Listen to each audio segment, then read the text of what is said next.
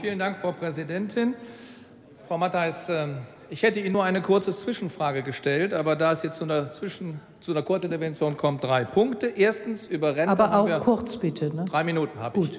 Äh, über Rente haben wir heute Nachmittag gesprochen und da will ich hier nochmal wiederholen. Wir haben ein umfassendes Rentenkonzept mit elf Punkten. Drei habe ich heute Nachmittag vorgestellt. Da können wir dann debattieren. Zweitens, Sie haben hier eben behauptet, es gäbe keine Zahlen darüber, wie viele denn betroffen worden wären.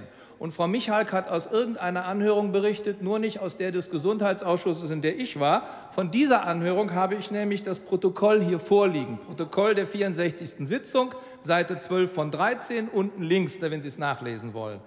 Ich hatte Herrn Stiefermann eine Frage gestellt, Klaus Stiefermann, Arbeitsgemeinschaft für betriebliche Altersversorgung. Und er antwortet, Zitat, Zunächst ein kurzer Hinweis, weil immer gefragt wird, wie viele Betroffene es gibt. Ich gehe davon aus, dass es sich um mehrere Hunderttausende Betroffene handelt, und zwar aufgrund eines Aspekts, der hier bisher vernachlässigt worden ist.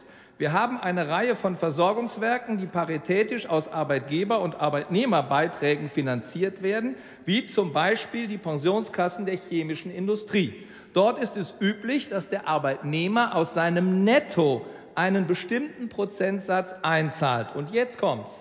Seit 2004 zahlt er im Alter noch einmal den vollen Beitrag. Das betrifft, wenn ich die drei großen Einrichtungen sehe, knapp 400.000 Rentner. Andere Fälle habe ich zunächst einmal außen vor gelassen. Zitat Ende.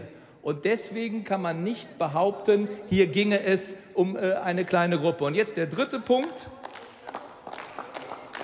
Stellen Sie sich vor, die betriebliche Altersversorgung ist ja freiwillig. Und Sie haben mit Ihrer Rentenreform 2001 dafür gesorgt, dass das Rentenniveau absolut im Sinkflug ist bis 2030. Die Menschen sollen also betriebliche Altersversorgung betreiben. Jetzt hat jemand eingezahlt, beispielsweise 21.000 Euro, hat die eingezahlt, kriegt die wieder und muss dann dafür 5.000 Euro Krankenversicherungsbeiträge zahlen und noch Steuern. Ich sage nur, diese Menschen sind deshalb so sauer, weil sie mehr Geld für ihr Alter hätten, wenn sie das Geld nur unter das Kopfkissen gelegt hätten. Und das ist eine schlechte Rentenpolitik und die darf so nicht sein. Herzlichen Dank.